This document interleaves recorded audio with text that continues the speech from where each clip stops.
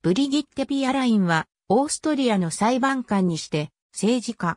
2019年6月3日から2020年1月7日までの約7ヶ月間、連邦首相を務めた。同国初の女性首相となる。姓は、ビーアラインとも表記される。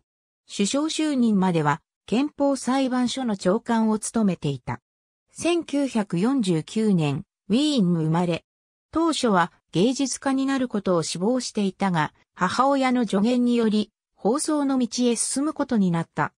ウィーン大学法学部を1971年に卒業し27歳で検察官となった後、法務省刑事課などを経て2003年から2018年までの15年間、憲法裁判所副長官を務めた。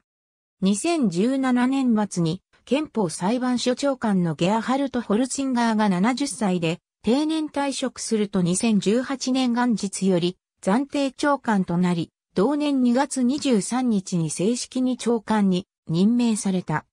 2019年5月、シュトラッヘ副首相のスキャンダルを発端とした内閣不信任決議により、セバスティアン・クルツ首相が辞任し、憲法裁判所長官のビアラインがアレクサンダー・ファンデアベレン大統領より新首相に指名された。6月3日に男女6名ずつの閣僚からなるビアライン内閣が発足した。